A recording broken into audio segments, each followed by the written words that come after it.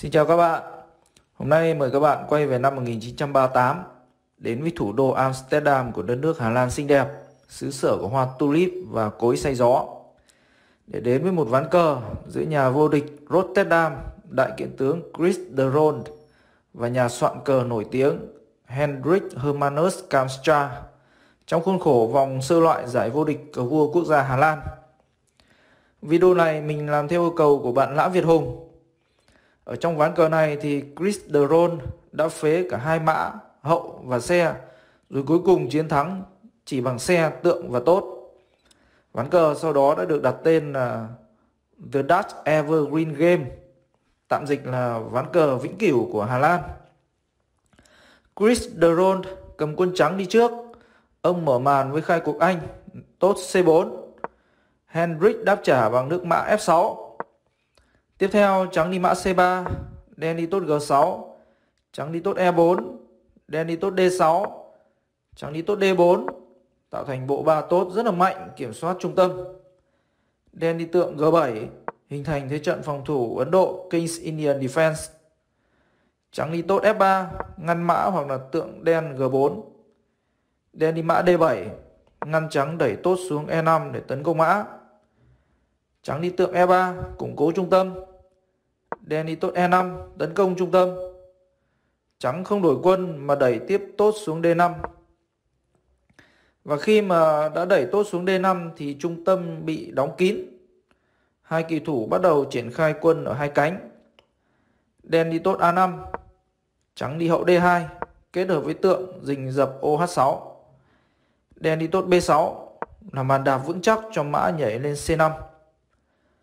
Trắng đi tốt G4, đen nhảy mã C5. Trắng đi mã E2, đen đi tốt H5 gạ đổi.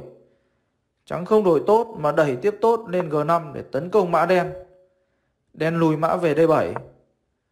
Tốt G5 đã chặn mất hướng tấn công của hậu và tượng, cho nên là trắng dịch hậu sang C2, kết hợp với mã kiểm soát ô A4.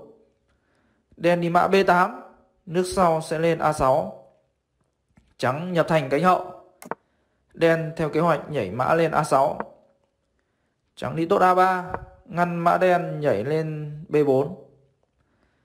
Đen đi tượng D7, kết hợp với mã kiểm soát ô A4. Sợ rằng đen sẽ đẩy tiếp tốt xuống A4 làm màn đạp để nhảy mã vào B3. Trắng liền đi vua B1, mở đường cho mã lùi về C1 để kiểm soát ô B3. Đen nhập thành. Trắng theo kế hoạch nhảy mã về C1 đen đi hậu E7, trắng đi tượng E2, đen bình xe E8, trắng bình xe G1, đen lại lùi hậu về D8. Có thể nói là trước thế cận thế trận mà kín kẽ như thế này thì việc triển khai quân rất là khó khăn. Nhưng mà chưa bên nào muốn đẩy tốt để phá vỡ cái thế cái thế kín kẽ này cả. Và hai bên lại tiếp tục sự tù túng của mình. Trắng đi tốt H3, ngăn tượng đen phi xuống đen đi hậu C8 kết hợp với tượng tấn công tốt H3 trắng lui tượng về F1 kết hợp với xe bảo vệ tốt. Tiếp theo, ở đây đen có thể đẩy tốt C6 gạ đổi, là thế trận sẽ thông thoáng hơn rất là nhiều. Nhưng mà đen lại đi xe E7 trắng đi xe H2 đen đi hậu B7 trắng đi tượng D3 lần này thì mã đen ăn tượng trắng, mã trắng ăn lại mã đen. Đen nhảy tiếp mã lên C5, thế chỗ quân mã vừa rồi, giữ vững thế trận. Trắng đẩy tốt A4, ngăn tốt đen tiến xuống A4 hoặc là B5. Đen lại lùi hậu về C8, tấn công tốt H3. Trắng đi mã F2 bảo vệ tốt. Đen đi mã A6, nước sau sẽ nhảy vào B4 tấn công hậu trắng. Trắng liền lùi hậu về D1. Đen theo kế hoạch nhảy mã vào B4, một vị trí rất là đẹp. Trắng cũng nhảy mã lên B5, chiếm lĩnh hảo địa thế. Chưa thể tấn công được tốt H3, đen lại đi hậu B7. Trắng lùi tượng về D2 gạ đổi. Đen lại không thích đổi nên lùi mã về A6. Trắng đi hậu E1, đen nhảy mã lên C5, tấn công tốt A4. Đến đây thì trắng nên đi hậu D1 để bảo vệ tốt. Nhưng mà trắng lại đi tượng E3 gạ đổi. Chắc là tâm lý nôn nóng nên trắng đã mắc sai lầm như vậy. Và đen chớp lấy cơ hội ăn ngay tốt A4. Đến lúc này trắng lại có nước đi vô tiền khoáng hậu nữa là nhảy mã vào G4. Và không cần nghĩ nhiều, tốt đen ăn mã trắng, tốt trắng ăn lại tốt đen. Như vậy là trắng đã thí mã để mở thông được cột H. Liệu sự hy sinh này có xứng đáng hay không? Chúng ta cùng theo dõi tiếp nhé.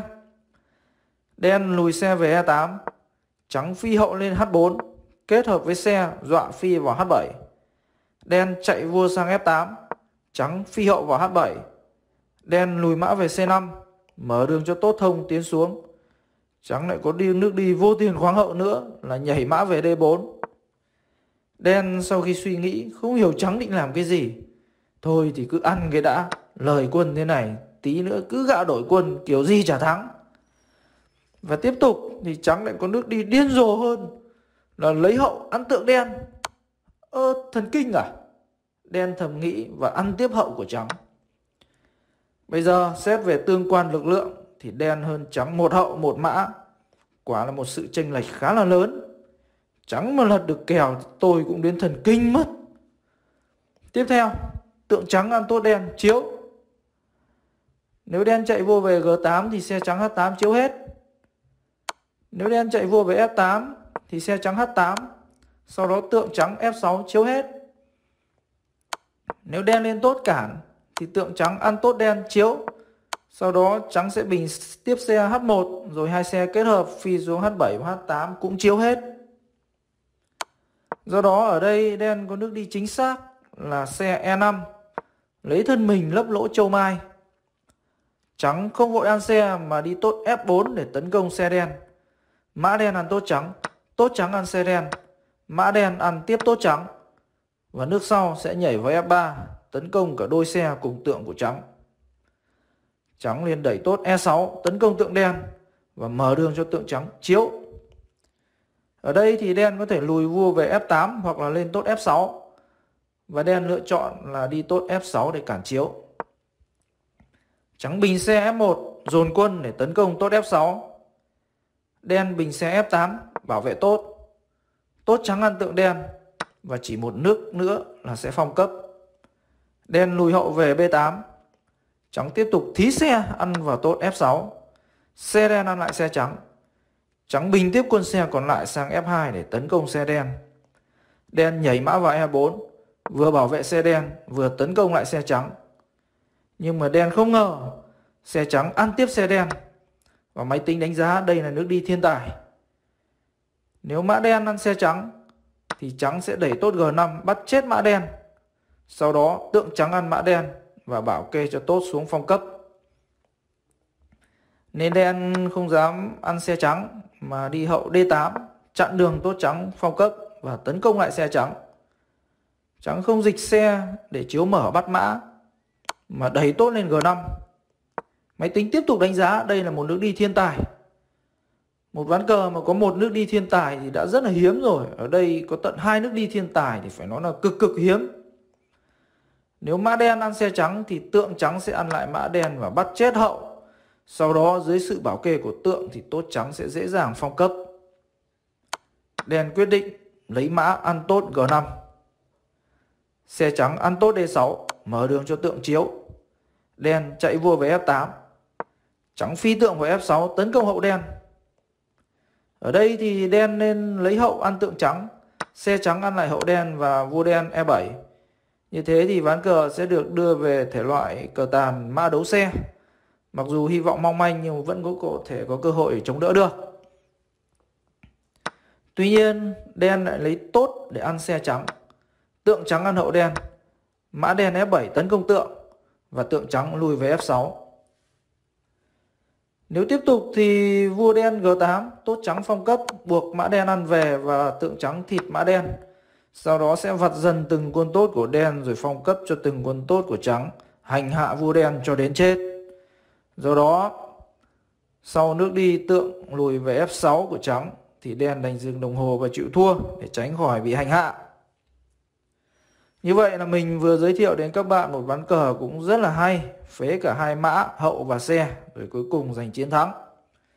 Điều đặc biệt là có đến hai nước đi thiên tài trong một ván cờ này, thực sự là rất rất rất hiếm có thể gọi là cực phẩm của cực phẩm. Các bạn thấy ván cờ nào hay nữa thì cứ comment mình sẽ làm dần nhé. Thực sự là có mọi người mà mình biết được thêm rất là nhiều kiến thức mới. Ok, cảm ơn các bạn đã theo dõi video. Xin chào và hẹn gặp lại.